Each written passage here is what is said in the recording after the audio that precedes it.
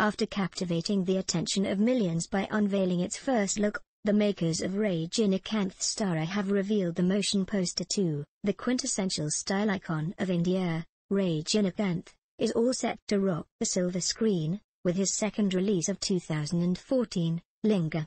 The film has been gathering a lot of steam with lots of hot scoops and gossips trickling out of the sets of Lingaa.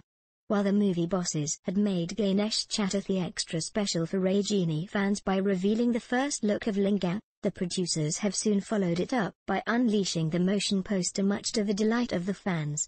The motion poster of Lingaa features the superstar in his element as the camera zooms through close-up shots of Rajini frozen in one of his majestic gates.